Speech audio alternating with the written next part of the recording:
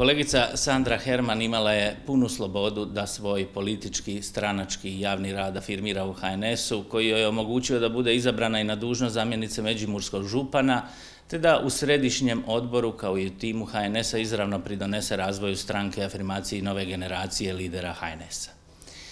Ona je od toga sama odustala, imajući pravo da svoju političku sudbinu veže za svog političkog mentora. Mi joj želimo svako dobro, ujedno obznanjujući da prema njoj od danas, kao stranka, nemamo više nikakvih obveza.